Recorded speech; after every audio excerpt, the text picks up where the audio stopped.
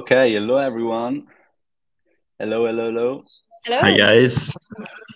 Hello, we are live. This is the episode number six of All Roads Lead to ETHRome. That is this cool format with all our sponsor, bounty sponsor, partners, uh, and all the the the project and people involved uh, in the ETHRome hackathon to be prepared for for the hackathon. So today I'm super excited because we have uh, Kirsten from Talent Layer. Um, so hello, Chris, Kirsten, and thanks to be here. Yeah, thank you guys for having me. Excited to share. Yeah, that's great. And also we have Drew from from Urbe from ETHRome. Hi guys. Yeah. How are you guys? Probably. yeah. So uh, I'm very excited uh, for having you here, Kirsten, and uh, we are very excited about Talent Layer and uh, like the way it improves uh, the um, Web3 ideas and turning into projects. And so maybe I don't know if we want to start with a brief introduction about Talent Layer in general. I don't know if you want to share the screen if you have any presentation. So sure. Yeah, so we can get started with a little presentation. So let me share my screen.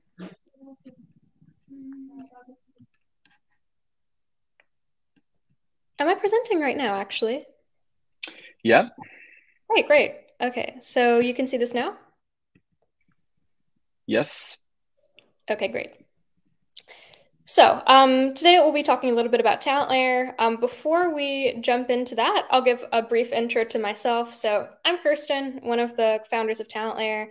And um, my background, so for the past four years, I've been building different things in the blockchain space. I started off doing blockchain governance um, work for a number of enterprise blockchain projects and then um, moved to the decentralized side of things, um, did a lot of open source work, and then uh, earlier last year founded Talent Layer. Um, actually, yeah, earlier last year. It's been just about one year exactly. Um, and before that, I had a number of Web2 startups, um, mostly marketplace type things. And uh, I was doing that um, on the side of being like a freelance developer. So always was, you know, hunting for work and, and then funneling the money that I earned as a freelancer into paying more freelancers to build my startups. So uh, I basically got really familiar with a lot of the issues of hiring on both sides of the market. And um, that's what led me to Talent Layer. Um, so today we're going to talk a little bit about some of the issues with hiring platforms today. We're going to talk about a concept that's become a, a pattern really in platform design um, that's fueled by Web3. So this is more of a general concept, building better platforms. Um, and then finally, we're going to talk about how you can build new sorts of platforms using Talent Layer um, for you know the future of work. So today's work platforms. So generally, if you're looking for a job or if you're hiring, you're using platforms like and and this is not limited to just what you think of as a job board or a freelance marketplace, but it's also things like Uber. Uber is a hiring platform, or Glovo food delivery is a hiring platform. Um, Teladoc is a hiring platform. And unfortunately, because we have so, so, so many of these platforms, and they're all um, sort of trying to have these captive user bases, you have really dramatic market fragmentation. So while you have people that are looking for work on one platform and people that are trying to hire on another platform, it's kind of rare that you have an even amount of hires and workers that are looking for the same thing on one platform alone. And this is uh, really the biggest thing that causes friction in hiring. So, additionally, because you have all these platforms operating independently, especially on gig style platforms where users do build a reputation over time, you have the issue of reputation fragmentation. So, anyone that's freelanced out there, uh, myself included, like usually we're using multiple platforms and you have maybe some great reviews on one platform, but if you're on another platform, maybe the hires there can't see everything. You have to charge a lower rate. It's a whole thing. So, in addition to all this, there's also issues of censorship, geographic bans, shadow bans, all the things that happen on traditional platforms. And this problem is bigger than just hiring technology, which is why we've been seeing a sort of new type of platform evolve. Uh, in fact, platforms that sort of separate the network effect from the platform itself. So let me talk about what that means a little bit. So what the heck is a network effect platform, a network effect startup in general? So this is anything that requires a big mass of users for the platform to have value. So you can think social media, e-commerce marketplaces like Amazon. You can think of um, hiring marketplaces like Upwork um, or Uber. And the the thing is, is like um, right now, all these platforms are completely fragmented. And what we've been seeing is, as of recently, um, there have been people experimenting with lower level graphs that basically create a base layer for many platforms to build on. One example of that is Lens Protocol. So, Lens Protocol is a social graph. They have developer toolkits to build social media platforms that all have an interoperable user base and social posts. And we've just like scratched the surface of seeing all the cool things you can build with Lens. So the anatomy of one of these, you know, graph uh, startups is you got one low level, low level protocol, then you have you know, some middleware indexers that help interfaces read the data and write the data sometimes. Um, and then you have platforms of different types. So you could imagine on Lens protocol, a graph uh, or an, an anatomy like this would look like you have maybe Lenster over here, Orb over here. They're all touching that lower level protocol, which is Lens. And um, what's great about this sort of model is you have one low level protocol. Um, and what that means is you can actually have interactions between users that are using different platforms. And it doesn't really matter as much where a user is. Um, it also means that if users are for some reason banned from one platform, they can go access another platform. Um, platforms also can have plenty of monetization, differentiation, other services on top of that. They don't all look the same. Um, that's part of the point.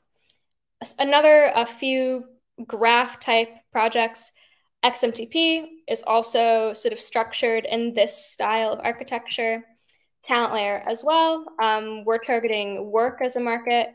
And now we can talk a little bit about okay, well, generally we know the structure of talent layer now. We know the structure of this new type of platform economy, open graph economy. Um, but what exactly can you build with talent layer? How does it work? So with talent layer specifically, what we have at the lowest level protocol is all of the backend components that you need to build hiring platforms. So think user reputation, service agreements, um, messaging, review systems, dispute resolution.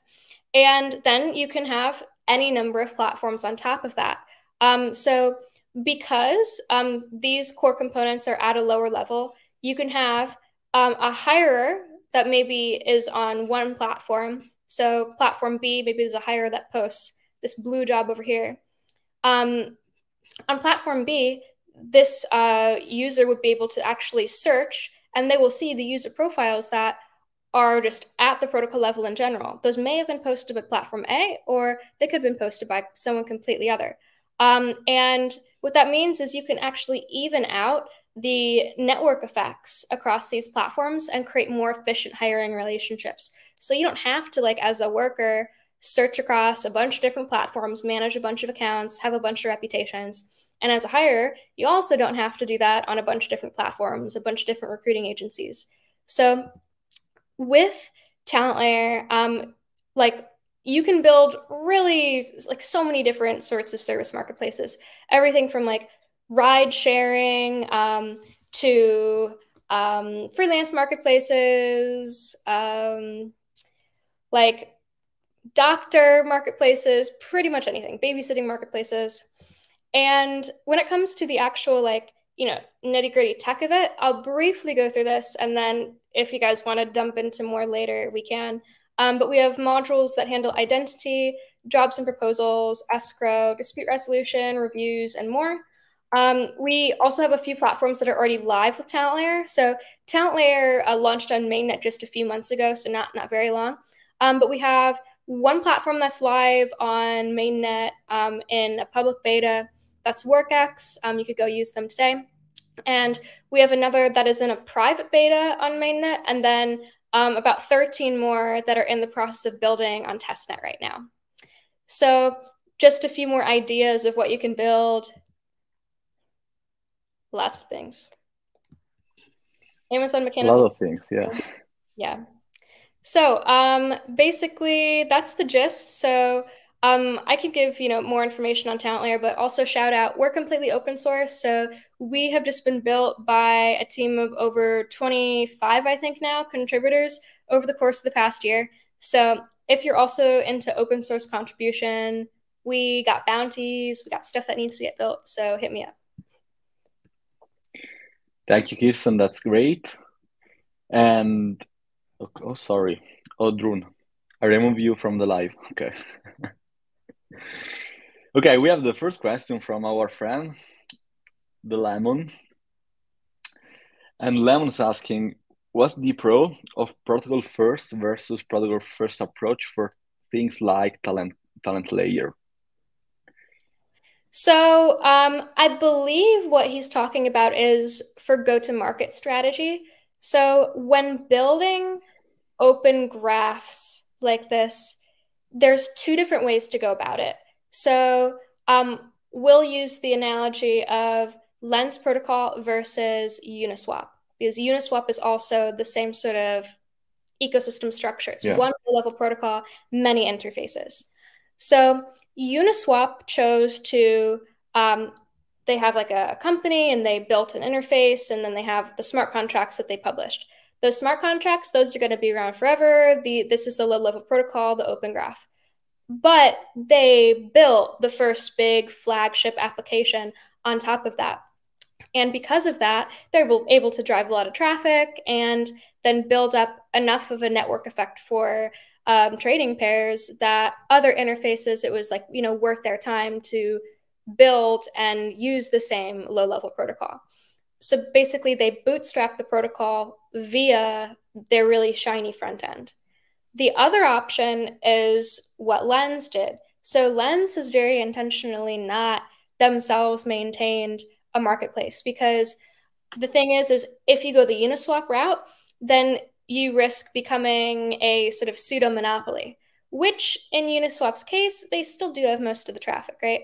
Whereas the way that Lens is building is if the Lens team does not run their own platform, um, but rather you have a bunch of the, the community members, people in the ecosystem just building platform, platform, platform, then they all have like a greater chance of being able to succeed individually. And in the meantime, Lens can do things to support those projects and help them grow faster. So Talent Layer is taking the approach that is more like Lens. So we do not currently have any sort of like flagship interface. We're happy to support WorkX, happy to support like all of the other platforms building on Talent Layer, and want to continue doing that. Thank you, thank you, thank you, Lemon, for the the interesting question. So, I have a question for you, Kristen, because I feel like um, Talent Layer has two different targets. Uh, one, of course, are customers, so people using all the platforms built on top of the talent layer protocol. And then, of course, you have developers or in general people who wants to integrate and to create something, to build something on top of the on the talent layer protocol. So specifically for this um, second category, so for developers, uh, what do you offer uh, so I mean, framework SDK, something like that, and also why a developer should use the Talent Layer SDK or framework or whatever instead of uh, building something from scratch. Hmm. So um, first of all, we'll, we'll talk a little bit about why use Talent Layer versus something else. So the main benefit of Talent Layer is the network effect, right? So if you build a hiring application that's on Talent Layer, then that means that you get to basically bootstrap yourself um, alongside a lot of other marketplaces. So it's the same thing as if you build a social media platform on Lens, automatically you get like a really huge reach, right? So granted, Talent Layer is a lot more early stage than Lens, and we don't have like as many users at the protocol level yet. But um, as the current marketplaces and as the new marketplaces that are building um, themselves bootstrap, and that means more access to the network effect for everyone that's building. So that's the main benefit. Another really big benefit for builders that are just getting started is we've got a lot of stuff built, right? Like if you only have to focus on your front end and you have escrow contracts, dispute resolution, um, reputation management, all of that, crypto native, like if you have all of that already there for you, then you can go to market in a few days as opposed to like, you know, months and months and months of engineering. Um, so one team that we talked with, they had estimated that it was going to be like eight, nine months, um, and ended up being more like three.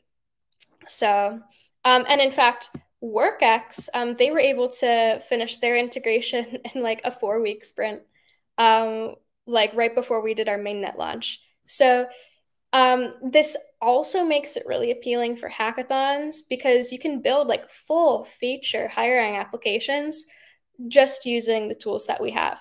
What are those tools though? So um, as of right now, um, September 15th, we have um, basically a starter code base. We have a lot of code snippets. We have a lot of really great documentation, pages, pages worth. Check out our docs, docs.talentlayer.org. Um, but of course, everyone wants an SDK. And uh, this is the first time that I am saying this ever publicly. SDK v0.1 is coming for ETHRome.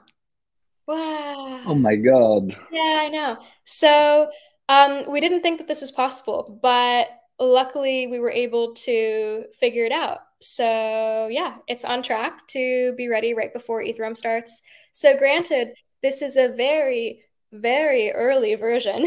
so um, for folks that that are keen on testing out new tech, definitely check that out. Um, and of course, as backup options, we still have all of the other great stuff that teams have been using for months. Um, so yeah, that's what we got. Uh, yeah. Well, this thing is huge actually. So hackers will be capable of implementing your SDK for the first time. So also for you will be interesting, like oh my uh, god, seeing, yeah yeah. And so yeah that's that's very good.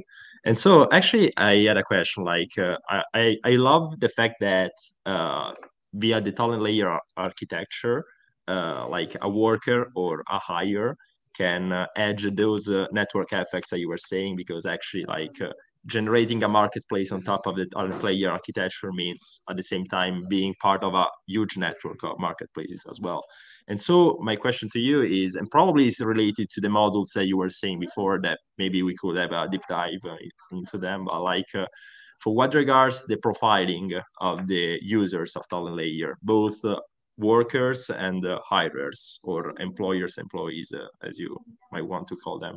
Like, uh, what's the process in that case? Like, are users allowed to uh, selectively disclose personal data? Uh, how strict is the disclosure process of the personal data and stuff like that? And also, like um, on a technical perspective, where these kind of information are stored, if they are on chain or on decentralized architecture?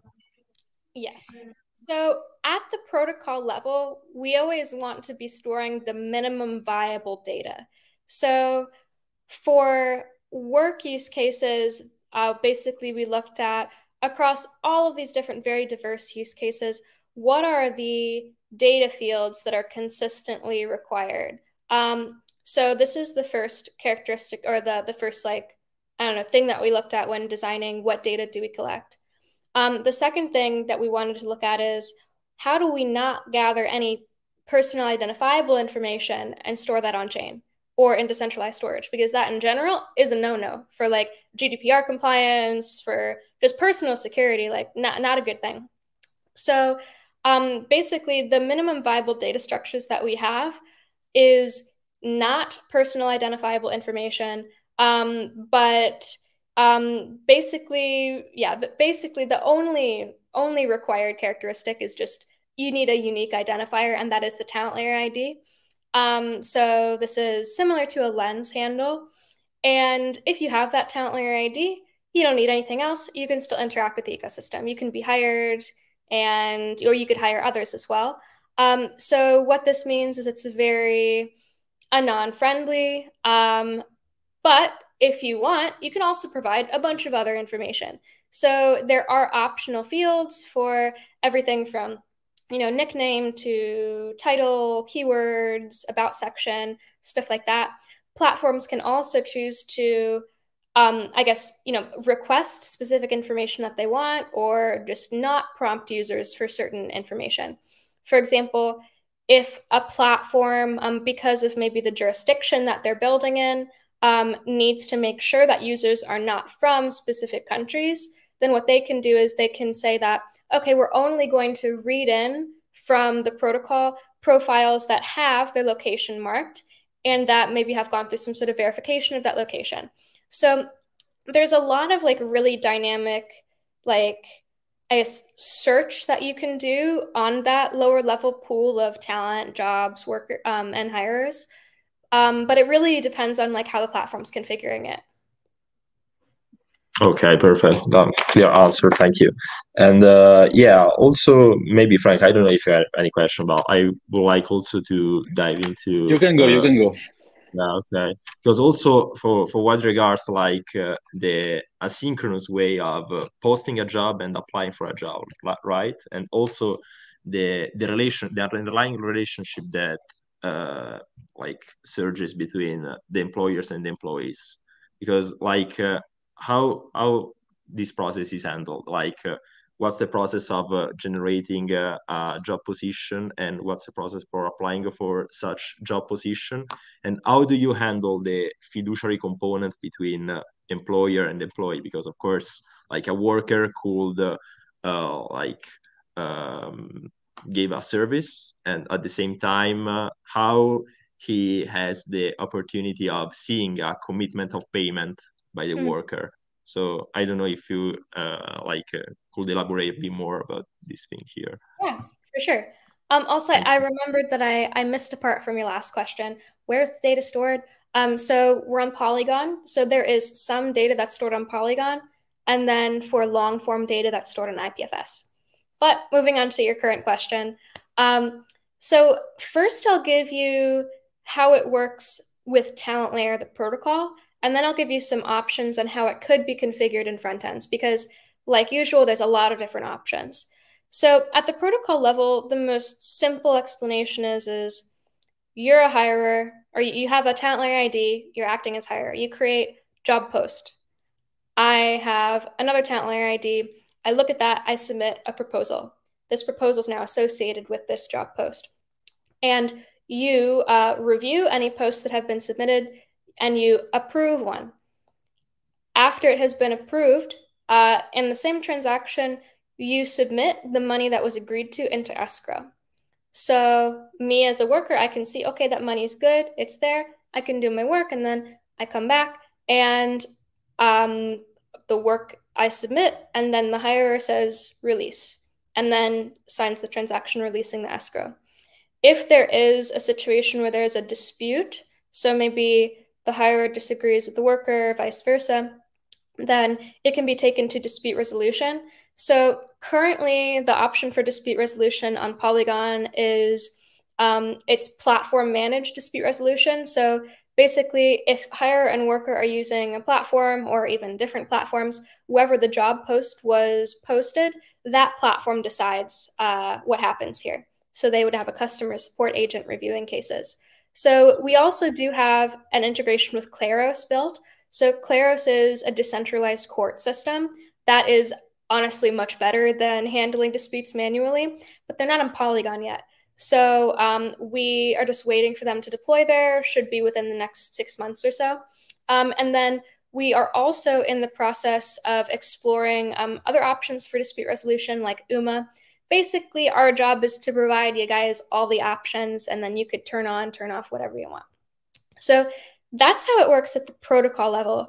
When it comes to how platforms can configure it i mean like it, it can really vary. So for example if you want to make a bounty board and you have 100k for a bug bounty or something what you can do is um, you say, I've got a 100K bug bounty, and then people submit the work, and then um, so that the job would be posted when you create the bug bounty. When people submit work, that work would be submitted as proposals actually. And then um, whoever you actually want to pay out um, on the back end, it selects that proposal. Um, and then you immediately trigger the release of payment. So that's a way to do bounty flow. You could also do like milestone based payments. So maybe when you post the job, you have some specification saying, yeah, it's going to be in three milestones. And then even though it's like it's all the same on talent layers level, the front end can just say, um, okay, trigger release of 13% of funds upon milestone completion A, and then upon B, this percent, and upon C, this percent. Um, so, and if you want, you could also do things like um, have multiple jobs, like multiple like literal jobs on the protocol for one contract. So maybe like you have a 10 month hiring engagement on one of these like long term um, platforms. So maybe something like a long term offshoring marketplace where you want to hire someone to work with your team as an embedded engineer for a while. Um, you don't want to put like 10 months of payment in an escrow up front. That doesn't work with your cash flow. So, how you would architect a system like that is um, for each month, maybe, or for every two weeks, maybe you put the money into escrow. So that would mean each month would be a separate job post and would have 100% of the funds released by the, the end of that month. But we getting really technical. I, I don't know if the audience uh, wants to get like super in the details, but if you do, let me know because I can go deeper.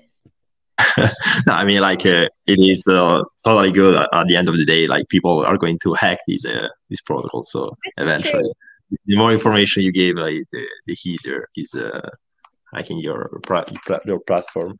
And so, yeah, maybe we have a lot of questions here that yeah. Been, uh, yeah, we have this super interesting question from Lemon, in my, in my opinion, and I want to add something about this because Lemon asked, well, "What's the most difficult thing in being the, the main steward of an open protocol?" And I want I want to add something, and I want to ask you: Are you trying to um, to to create a, a, direction or in general some guidelines for people in um, that wants to build on talent layer or and also right now can people build something without uh, talking with you? So completely independent, independently uh, or and or maybe something in that is planned for the future. So I'll I'll take your second question first, and then I'll, I'll loop back to the other one in Limones. Yeah. So, um, so basically, anyone can get started and build a full platform on testnet without talking to us at all. If you want a mainnet platform ID, you do have to submit a request. Reason for this is if we do not do this right now, then we could get spammed a lot. Yeah, and the platforms that are on talent layer um, currently like they would rather not have a bunch of stuff to sift through. Um, and this sort of like you know in the long term gets into the economic model of talent layer where we will have incentive mechanisms around um, you know properly labeling things and disincentives for bad actors that post spam and, and stuff like that. But that's like very long in the maturation journey of talent layer. Um, so going back to being main steward of Open Protocol, so right now with Talent Layer, like we're we're a lot of people, right? But we all sort of move as one. So we don't have necessarily something like the Ethereum community where you have pods of people working under a bunch of different entities in different countries and their teams. And sometimes they talk to each other, but mostly they're operating independently. We don't really have that yet. That'd be awesome one day, but not yet. Um, we all run on the same sprints. So that means we really do set a lot of the vision for the protocol. Um, in many ways, we do. In other ways, we've tried not to, and things have sort of happened just by default. But one thing that comes to mind relating to that is we, for a long time, really wanted to not push people in a specific direction as far as like what platform you should build on talent layer because it's like, yeah, build whatever you want. You can use it for so many things. Um, but we realized uh, that literally all the teams, except for one, I think, building on Talent Layer, are building developer marketplaces. Um, so it's like they were doing that without us, you know, requesting that or advocating for it or publicizing that. But it ended up being like a really smart thing because if you look at why developer marketplaces would be a good entry market, it's because this is high margin. So generally, you have like a lot of money moving around because developers are well paid. Um, you have a ton of existing developer marketplaces. It's a huge share of the market. One of the reasons for that is developers are tech savvy. Who would have thought? Um, and developers are also location independent. You can hire them wherever you are in the world. So if you compare like a group, like say, say you have um, just a hiring platform, not even Talent Layer, and you have a hundred developers in there, and you have a hundred hirers in there, you can facilitate a lot of matches, um, even if those people are scattered all over the world. But if you have something like an Uber and you have 100 people looking for a ride and 100 people that are driving, but they're all in different cities, in different countries, that's not going to do anyone any good. So, what that means is if many teams are building something in a similar vertical, especially a location independent vertical, then the network effects bootstrapping is so much faster.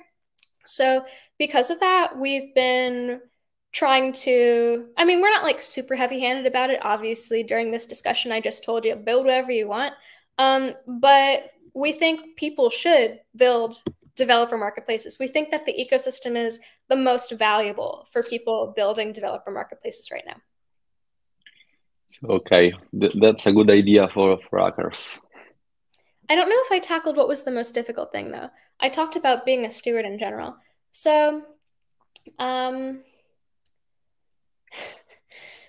um, I feel um, like uh, if I if I can say something about that because yeah. I feel like, for example, you or for example the Lens team um, regarding the Lens ecosystem um, or Farcaster. So in general, these open protocols, there should be someone uh, giving um, a, some guidelines. Okay, so so I got guidelines to follow because otherwise um, everyone can do anything. So is yeah. that a complex thing to do? I mean that yeah, I mean that I would say most of my thoughts around complicated things are relating to that. Um it's it's like I I, I think of it more as like how heavy handed do you want to be? Mm. Because I mean you can you can say like only build this kind of thing. We're going to do this together because it's the best for the network effects. Or you can be more like yeah build whatever you want dude but it'd be great if you could build this. Um, so in talks with vcs one really interesting thing has been like they they a lot of them have advocated on one firm target market. So in general, and, it was literally because of the network effect stuff. Because in the beginning, we were talking to so many people building like really niche marketplaces, like food delivery in Sweden, or um, there was this marketplace in New York City that was being built for uh, for like restaurant workers um, because restaurant workers have a lot of turnover. Um, no reputation system, stuff like that. And like use cases like that are so, so exciting and cool, but it's really just not as powerful for those use cases right now because if you if you have like one city like you need at least a few marketplaces in that one city for something that's geolocation dependent for that to work so it's just a lot harder um, but yeah i would say like broadly speaking difficult thing is like knowing how heavy handed to be with advocating people building in a certain way. Um, and also knowing how much, um, like, what we can do versus what is the marketplace's responsibility, right? Because on our end, we want to bootstrap this protocol. Like we want to get adoption, um, but we also don't want to manage our own marketplace. That's not our business. We want to leave that to the marketplaces. So figuring out ways to support them or also supporting hirers and workers interacting directly with the protocol is stuff we're focused on. So let me focus on that last part a little bit. Normally in, you know, in in everyone's understanding of marketplace world before today, it was not possible for some individual actor to access a marketplace and a network effect without going through some sort of intermediary. But with something like Talent Layer, it's possible to you for you to have even something like a one interface that you host on a computer in your basement. And that is just the thing that you use to search for jobs. And because it uses the same backend as all the other platforms you can still handle the escrow you can handle dispute resolution you can have all these things. So thank you pg you're crazy. Um, so so basically what this means is um, like you can actually directly bootstrap the protocol with workers and hirers by just empowering them with self-hosted stuff. So this is something that we've been looking at a lot recently. Um, and we're in the process of like specking something to basically allow hirers to easily embed white labeled um, job boards on their platforms. So or rather on like their own hiring sites. So things like that is what we're looking at. But like that's been a whole year's worth of discussion on like, you know, should we do this to this extent, to that to that extent. But yeah. Okay, that's great. So um, I have a, another question related to talent layer IDs. Um, so are they soulbound tokens? So are they linked to your wallet or can you transfer these IDs? So talent layer IDs are something in between. So we think we may have invented this thing. Um, basically, they are uh, they're transferable until you start building a reputation. So what that means is you can actually have a secondary market for them as long as someone has not used them. So think of it as, I don't know, collectible underwear. This is using a very weird analogy. You wouldn't want to use the collectible underwear. You're not going to do that. But you can trade them. and until someone uses them, then they're exchangeable. So so basically, what happens is you mint a talent layer ID. Um, you can only mint one into a wallet. So if you want to mint a bunch, you need a bunch of wallets. Um, and then you can sell it, you can trade it, you can move it around however much you want. But the moment that you do a action interacting with the talent layer smart contracts, so that could be adding profile information, it could be posting a job, it could be submitting a proposal, it could be really much of anything. Um, at that point where you take that action, locked forever to that wallet. Um, and yeah, so basically, the idea behind why it has to be soul bound is you don't want people to be able to have a secondary market for reputations. So, generally speaking, having it be tied to the wallet prevents a lot of um, sort of malicious activity around reputation trading.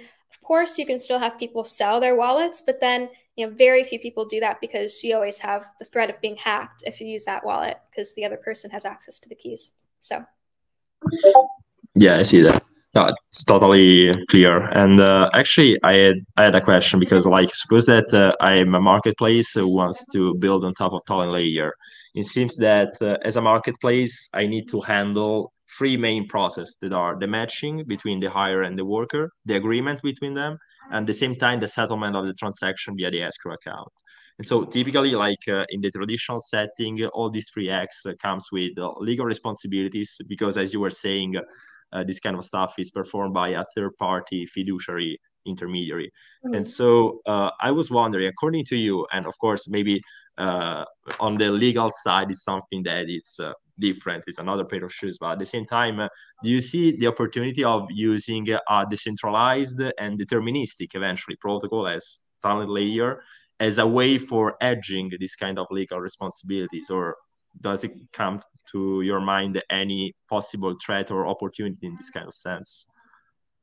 So as of right now, what we do is we we recommend that the platforms do things like have their own legal agreements that they create between workers and hirers and have financial agreements about use of the escrow and have dispute resolution agreements and stuff like that.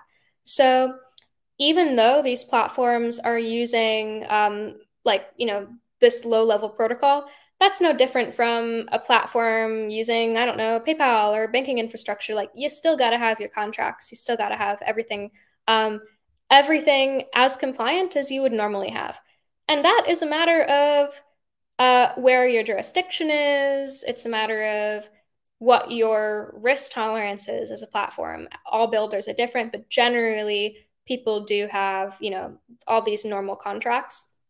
As far as um, using talent, so that's such a, such an interesting question, by the way. Um, like using talent layer to hedge against traditional financial agreements.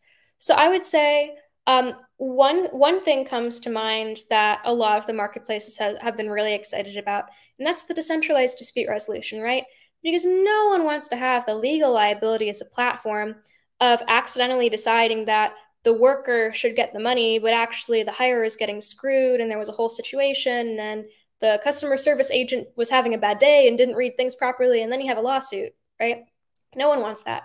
So the thing is, is um, when you are able to have decentralized dispute resolution, then not only can you have like in a situation like Kleros, you can have many, many like jury members reviewing every specific case, increasing the likelihood that you have like a outcome that is going to be, we'll say, the most logical um, because it's going over many eyes. Um, but also, you're able to do a bit of liability shift depending on the marketplace, depending on what protocol is used for dispute resolution.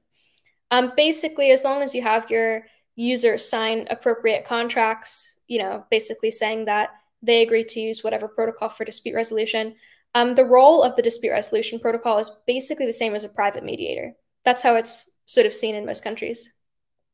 Yeah, I see that. It seems that the Kleros integration will be a super huge milestone for oh my gosh, I know. Yeah. I know. We've been waiting yeah. on their V2 so that the V2 is live on testnet. They just need to get it on Mumbai testnet and then on mainnet. It's on some other testnets. Sounds good. Yeah yeah so probably we can move to ETHRome and uh, like uh, the, the involvement of a layer uh, on ETHRome i don't know frank if you have any take about this, this stuff yeah yeah okay so for sure talent layer talent layer will be a bounty sponsor in ETHRome with a bounty of $2500 i'm i'm correct yeah yes okay so first question, very easy. So, what, what do you expect from from the hackathon? And and then, if you can share maybe some ideas um, for for hackers to build on top of Talent Layer. So, um, what do I expect for the hackathon? Um, so, I expect Roman togas. I expect chariots. I expect a lot of carbonara. And I expect very vibey decorations, probably with gold and leaves. This is what I'm expecting. This is what I Ooh. have heard rumors of. So I'm very excited for that. I think it's going to be a vibe completely different than all of the other like hackathons that I've been to recently because it seems like everyone's doing the same theme these days. It's like everyone's got like the nice flowery Ethereum logo with the greens hanging off, but you can do so much more than that. So I'm excited about what you guys are planning for that. Um, as far as what we expect from the hackathon, this is what we're really excited about. So, like, I know so many people that like that like I've hacked with before or that I've met like at other hackathons all coming to ETHRome and I think it's going to be a really great turnout. Um, I think that there's a lot of really freaking cool sponsors. Like who gets status to sponsor? Who gets Waku coming out? Yeah, that's true. That's wild. I've never heard of that before. Also, um, ENS rarely does hackathons. Usually they do conferences. So like major props to you guys. Will be super cool to, to, hack with all of those teams. Um, and specifically with Talent Layer, what we're doing is we are making our bounty um, broad so that basically you can use our work features, you can fork our contracts, you can do documentation improvements, you can do pretty much anything as long as you do it creatively. And um, and like I really want to share more details, but I know that the official announcement is a little bit later. So just know that you can really let your creativity run free. And uh, working on Talent Layer Bounty will also be compatible with most of the other bounties out yeah. there. Um, so as far as what you can build, I mean, I sort of uh, I, I went over some of the possibilities earlier, but um, we prepared this notion with I think about 15 possible ideas with details. There are drop downs. So we try to hook you guys up with all the ideas, not limited to these, of course, and just a few. Um, we'd be stoked for like a food delivery app. So if you imagine like I don't know, building some sort of MVP where someone can order Red Bulls or pizza or something, and then you run around delivering, that'd be freaking awesome. Um, so Another thing that would be really cool to see is more usage of AI. So, specifically, um, AI agent marketplaces. So, if anyone knows about Mechanical Turk, like um, sort of an analogy, Mechanical Turk has been around for like a decade. And what it is, is it's a marketplace for very small pieces of easy work that are now really done by humans. So, an example is you send um, the marketplace a receipt, and then someone is assigned to review the receipt and type out um, the details of the receipt. So a lot of that stuff can be just done by AI now.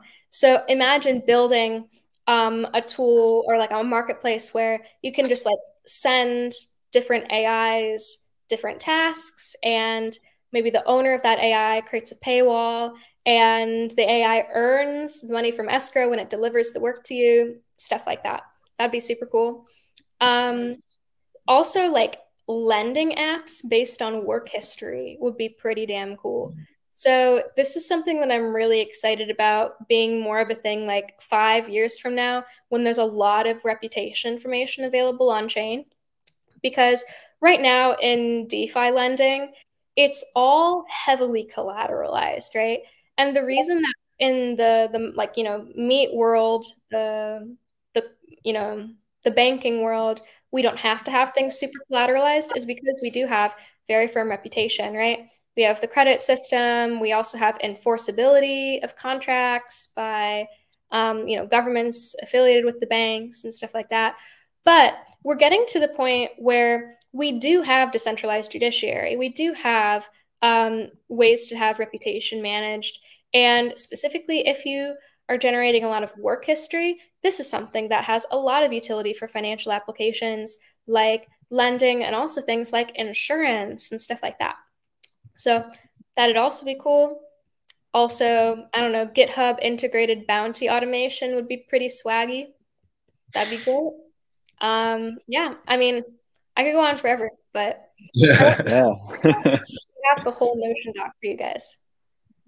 Yeah, I feel like the AI marketplace is a great idea because we have the Brian bounty. So you can do uh, the Brian bounty with a talent layer bounty. Yeah, it could be called Brian Works. Yeah. yeah. And this could be monetization for you guys. Damn, someone needs to build that. That's a great idea, yeah. okay, we have um, a question from from Paolo from Arbulo. Is it possible to develop on Talent Layer without having a lens handle? Absolutely. So, common misconception Talent Layer is not built on Lens. Like, we don't have any like dependencies with Lens. It's just we're sort of sisters, right? Like, you can build applications that use Lens and use Talent Layer, but you can also build applications that just use Talent Layer. So, um, if you don't have a Lens handle, that doesn't matter. Also, for the record, even if you don't have a lens handle, you can still build on lens. You're just building on testnet because they do have a way to like infinitely mint handles on testnet. Just FYI. Okay. Thank you. Yeah, and uh, maybe my final take, uh, um, well, my final question could be like, uh, according to you, um, there is instead any project that you do not suggest to to pursue, maybe because they could be too ambitious to be performed in three days, or maybe because uh, they they are they could be not that original compared to what has been uh, already worked on. So because at, at the end of the day, uh, if you are a judge, you need to reward also the the fact that it's something totally new and totally different. Yeah. I would say we definitely love creative things. So, yeah. Um, as far as you know, things that are too ambitious, I mean, I'll leave that to you guys to decide as hackers. You choose whatever you feel like you, your capacity is. Um, I would say the most vanilla flavor thing you can build on Talent Layer is probably a freelance marketplace. Like, mm. I love all the freelance marketplaces building on Talent Layer, but for hackathons, this is where you got to get inspired. You got to make flashy, cool things for the judges. So, yeah, I personally very like the idea of uh, taking the on-chain reputation of the worker as uh, a component uh, for the credit worthiness on other protocols. This is very mm-hmm. interesting, and uh, because at the end of the day, like uh, mm, the fact that the Talent Layer ID is uh, soul bounded, it makes also like it is an edge against the uh, reputation trading that you were mentioning before. And So it's something mm-hmm. that, of course, is uh, it could be something I would say. So yeah, yeah, that's very cool. Yeah, that's great, Bruno. You should attend the hackathon and, and build build this. Yeah, yeah, yeah, yeah. Are you allowed to do that? okay, my my, fa- my final question is: Do you have any general tips for for hackers? Oh yeah. So not re- not related to talent layer, but in general. Yeah. So um so like talent layer crew has been going to hackathons almost every month for like the past year. I met my co-founder at a hackathon. We went to like five hackathons in a row last year and we lost all of them. We did not win a single bounty. And we realized that we were doing everything wrong. And then like beginning of this year, we started winning. And slowly we realized why we were winning. And now we got the playbook. So basically, here's what you guys got to do assign someone to talk to people. Like bounty sponsors want to be talked to. If you just code alone, like you're not going to have people remember you. And relationships matter a lot. Even if we all wish that hackathons were only based on the code that you ship, relationships do matter a lot. Um, and the reason that the sponsors are there is to talk to you. So also they get lonely at some hackathon sponsors and they're just waiting for people to come up and it's sad. Like, no, you gotta go talk to people. So there's that. That will already increase your chances of winning things by a lot, I think. Um, so also pick things that are easily able to be demoed. So you always get bonus points by building mobile first because it's like really sleek and easy for people to like hold in their hands and and do stuff with. Um, I mean, even if you are a web app, like just make sure that you can have a, a working demo. Recommend putting it on Vercel. Um, that will score you a lot of points. Also, just generally speaking, like having someone on your team that's at least a little bit design oriented is useful. So, even if you build something like wicked cool on the back end, if the judges can't see how it's usable for an end person, then you're probably going to lose out on points. So, granted, there are some hackathons where I've seen the opposite the case. So, for example, like ETH Prague last year, they had some hella deep tech that didn't even have interfaces that ended up winning prizes. I would say, generally speaking, that's a minority of hackathons. So, I don't know how ETH Rome will be, um, but that's just generally a tip. Um, and then what else? Also, always scope uh, or always commit to do less than you want for your original scope. Like everyone overestimates what you can do in a timeline, and that's like the worst thing because then it really stresses you out. And then if you like don't even finish something that's minimum viable, but if you just like removed one feature, then you could have had something that was demoable. That's like the worst feeling. So just make sure that you can do that. Yeah, no, I mean, it has been amazing having you, Kirsten, here. Also for these final tips that I bet they they they will be super super useful for hackers in hacking your protocol in in Rome. So Frank, I think that we are done. So yeah, we are done. Thank you very much, Kirsten. It's yeah. a pleasure and, having me. Yeah, thank you. And of course, see you in Rome. Yes, see you all in Rome. Okay. See you in Rome. Bye bye. Thank you very much. Bye guys. Bye. Bye. Okay, cool. It's yeah. It's